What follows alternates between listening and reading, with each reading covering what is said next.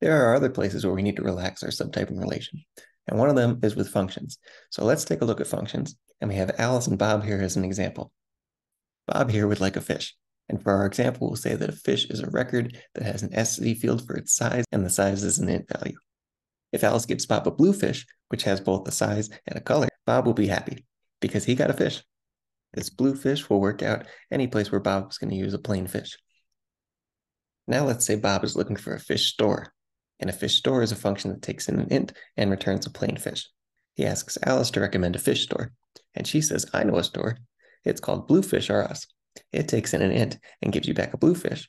Will this store work out for Bob?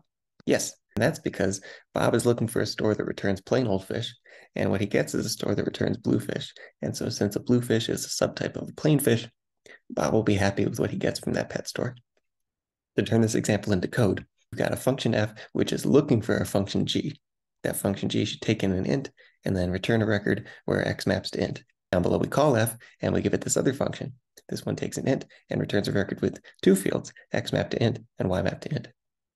That green type should be compatible with the blue type. But right now it is not a subtype. This application would get rejected, and that's because our subtyping relation is looking for an exact match between tau1, tau2 on the left and tau1, tau2 on the right.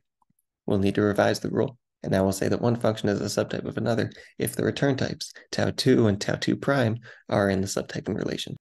They don't need to be exactly equal, but they do need to be connected by subtyping.